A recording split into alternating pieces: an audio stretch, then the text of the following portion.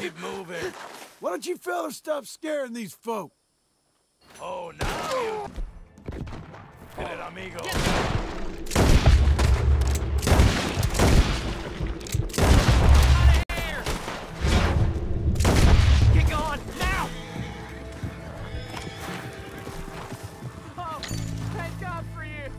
I've heard some terrible stories about those bastards.